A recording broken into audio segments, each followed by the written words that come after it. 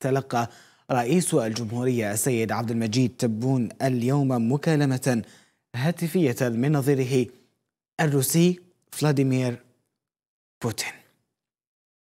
إذا مشاهدي الكرام كما يظهر في الخبر أسفل الشاشة رئيس الجمهورية السيد عبد المجيد تبون يتلقى اتصالا هاتفيا من رئيس فيدرالية روسيا فلاديمير بوتين.